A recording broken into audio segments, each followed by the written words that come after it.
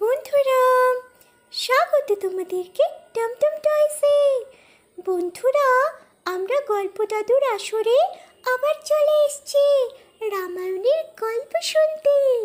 তোমরাও তো গল্প শুনবে।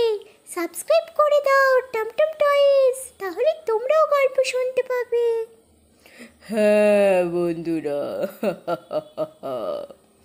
সাবস্ক্রাইব করে দিয়েছ তো টমটম টয়েস?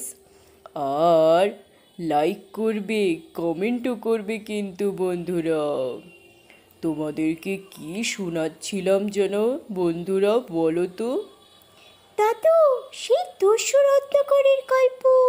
যে দস্যু রত্নাকর তারপর ব্রহ্মাদেবীর কথা মতো বাল্মীকি মুনিতে পরিণত হলো। হ্যাঁ একদম ঠিক বলেছ। তোমাদের তো তাহলে বেশ সুন্দর মনে আছে। ব্রহ্মাদেব বললেন, নারদ মুনি, আপনাকেই তো যেতে হবে বাল্মীকি মুনির কাছে, কারণ সময় উপস্থিত। বাল্মীকি মুনির জিহ্বায় অবস্থান করেছেন স্বয়ং মা সরস্বতী।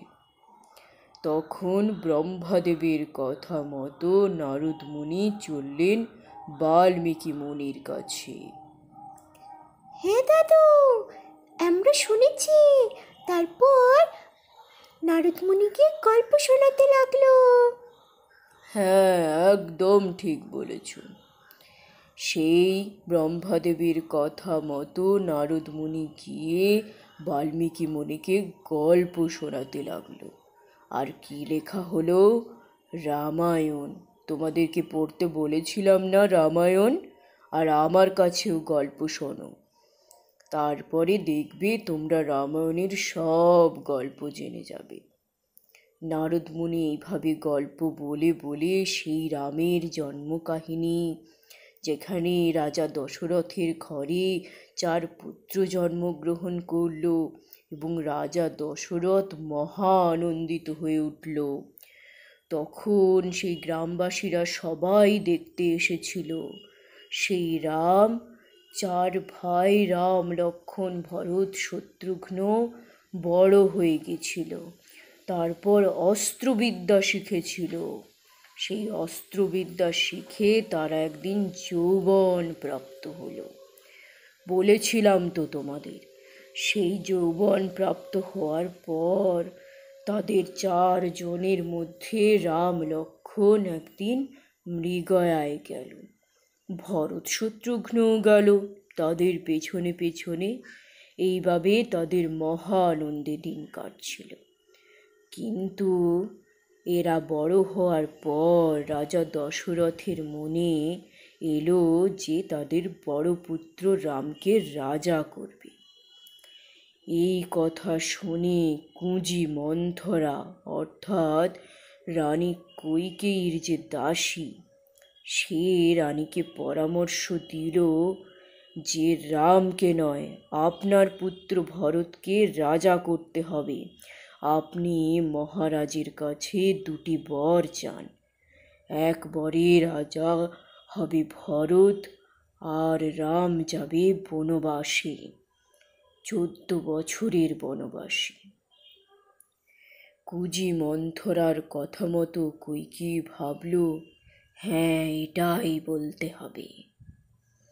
এরপরে রাজা দশরথকে রানী কৈকি বললেন, আমার দুটি বর চাই। রাজামশাই রাজামশাই, আমি আপনার কাছে দুটি বর চাই। কি বর বলুন? রানীমা, আপনি বলুন কি বর আমি, আপনি কথা দিন। আপনি তা পূরণ করবেন। অবশ্যই পূরণ করব, তুমি বলো। আমি চাই আমার পুত্র ভরত রাজা হোক। আর রাম যাবে বনবাসে, চোদ্দ বছরের বনবাসে। এ কী করে সম্ভব, রানী? আমি যে আমার জ্যৈষ্ঠ পুত্রকেই রাজা করব বলে ভেবেছি। আপনি এ কথা ফিরিয়ে নিন, আপনি এ কথা ফিরিয়ে নিন। রানীমা, আপনি এ কথা ফিরিয়ে নিন। তা হয় না। আপনি কথা দিয়েছেন আমাকে। আমার পুত্রকে রাজা করবেন। এরপর পিতার কথা রাখতে রাম, লক্ষণ এবং সীতা চলল বনবাসে। রাজত্ব পাওয়ার থেকেও তাদের কাছে বড় হলো পিতার কথা রাখা। তাই তারা বনবাসেই চলল, কারণ তাদের পিতা কথা দিয়েছে।